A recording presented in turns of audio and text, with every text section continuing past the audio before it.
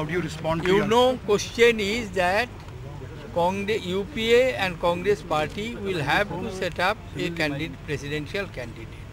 Who will be the presidential candidate? That will be decided shortly, and you will come to know that who is going to be the presidential candidate of the Congress party and UPA. But are you are you